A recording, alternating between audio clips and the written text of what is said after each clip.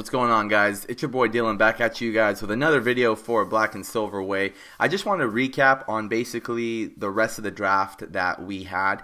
Uh, and after Amari Cooper went in the first round, we ended up picking up our next pick the next day, uh, Mario Edwards from Florida State. Uh, the thing that's good about Mario Edwards is he actually has some kind of uh, stability with our coaching staff. Our new linebacker coach Sal actually coached him for two years in college, so they have some history together. And Edwards is honored to be able to play for Sal again with the Oakland Raiders and to kick off his NFL career with a coach that he actually knows. They had a good time back in college, so I'm excited to see some uh, some kind of history start up and some confidence build with Mario. Mario is definitely underrated defensive end. Uh, you can never you know get enough pass rushers in my opinion. So uh, Mario Edwards for his freshman year, he ended up getting two sacks and 17 tackles. As a sophomore, he recorded 28 tackles and four sacks, and then in his junior season, he got 23 tackles and three sacks. Then, after his junior year, which was this year, he entered the 2015 draft and he is now a Oakland Raider.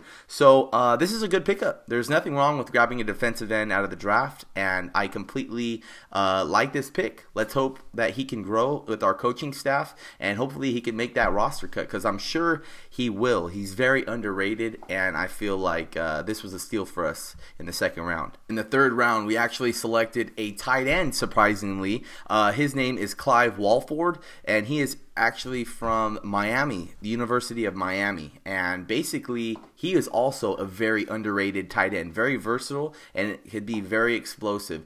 Basically, in his first uh, freshman year, he played eight games with, or he, yeah, he, he started with eight games and he played, he was healthy for the full 12. He finished with 18 receptions for 172 yards and a touchdown. As a sophomore in 2012, Walford also had 25 receptions, 451 yards yards and a touch and four touchdowns over 12 games. Out of those 12 games, he started five. And as a junior, he worked his way up to a starter, and he started 12 of 13 games, recorded 34 receptions, 454 yards, and two touchdowns. And um, Walford also returned as a starter his, se- uh, his senior season but he was selected in the third round, 68 overall from the Oakland Raiders, and it's going to definitely help out our tight end core because we have, um, you know, Mychal Rivera that we grabbed from the draft. Marcel Reese could also be utilized as a tight end, but he's mainly, of course, are kept at fullback. But we've always wanted him to go to tight end, but it never really happened. So we keep him at fullback, and this guy's going to definitely bring some versatility to our our tight end because he could catch the ball, He's good at blocking, and he can definitely be a dual threat. So I'm excited to see what he's going to do. You know, he's not expecting to start, and we're not expecting him to be our savior at tight end because Mychal Rivera is also a great tight end.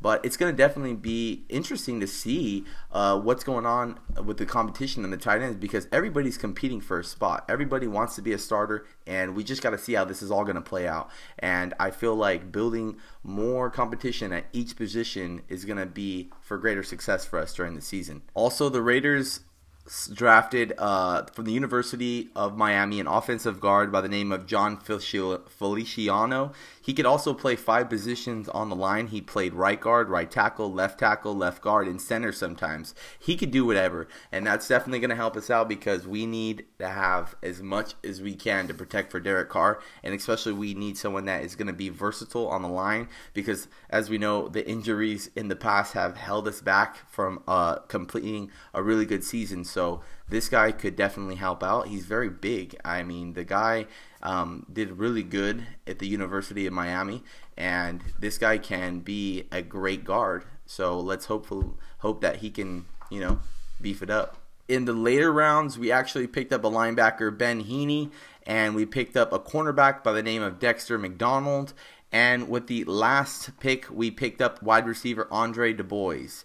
And oh wait, we have more. Uh, defensive end Max Valles, and also a uh, tackle from Anthony Morris out of Tennessee State, and that pretty much ended our draft class. We ended up trading, uh, doing some moves and we ended up picking up a good amount of players. You know, Reggie McKenzie's been known for knowing how to get as many players out of the draft as we can. So that was really good to see that he was making moves, and we ended up getting a lot of players out of the draft again, guys. So I want to see who makes it out of these guys. I'm really excited, of course, for Amari Cooper and our first three picks, and you also can't forget about. Um, Andre Debose too. Andre Debose, the wide receiver, had a nice little highlight reel as well. So yeah, that's a pretty much our draft class. I mean, overall on the draft class, I'm gonna go ahead and rate us at a solid B plus. I feel very comfortable with it, especially with going, um, you know, being able to pick the best wide receiver out of the draft also getting a lot of defensive players and a few uh, offensive weapons for Derek Carr. I mean, this is a great draft class again, and I feel like I don't regret anything that Reggie McKenzie really did. So, um, you know, the more I thought about Amari Cooper and everything, it, it was a very smart pickup, especially with uh, Leonard Williams having shoulder pro- shoulder problems already. And breaking news today, and I can't believe it happened, which it caught me off guard this morning when I woke up, but it is what it is. I understand these cuts. Is the first big shocker over the other player is James Jones was cut from the Oakland Raiders today. Uh, James Jones came from the Packers last year off of free agency to be that number one guy, and he was our number one guy for Derek Carr last year. But the thing you got to think about, guys, is he's 31 years old. We just picked up Michael Crabtree he's 28 years old and he has excellent hands. We just picked up Amari Cooper, and Amari Cooper is a very young, talented wide receiver that may even start. Then you got Rod Streater. Then you got Andre Holmes. Every single person on that wide receiver core is really young. And if you think about it, Michael Crabtree is also very young. He's only 28 years old, and he hasn't really played that much football. He's only been in the league since 2009 season. So um, I feel like that move was based upon uh, seniority and just trying to get the team to be a young team and gel together.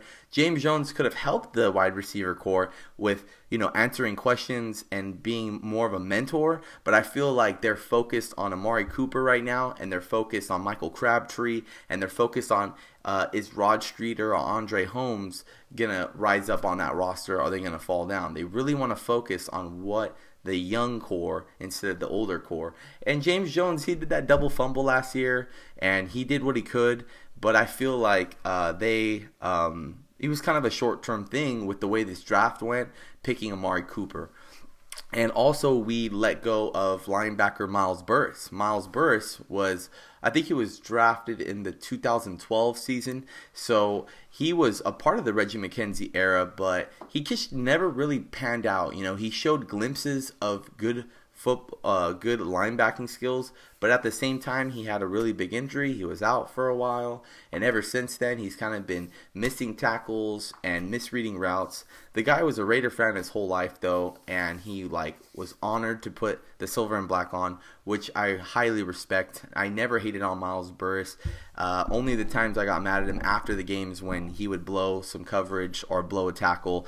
But other than that, he was never really a guaranteed starter, and he kind of was just helping out. And it's our roster's been in limbo, and our whole coaching staff's been in transition. So it was just a bad timing for Miles Burris. I'm sure Miles will find something else, and I'm sure James Jones is going to definitely get picked up somewhere. So good luck to their careers. That's going to be my 2015 draft recap. I give us a solid B plus, and I think that the mini rookie camp for um, this week is going to start on Tuesday or tomorrow or Wednesday. So I will definitely guys give you guys updates on how the rookie camp goes, and I'll see you guys on the next video.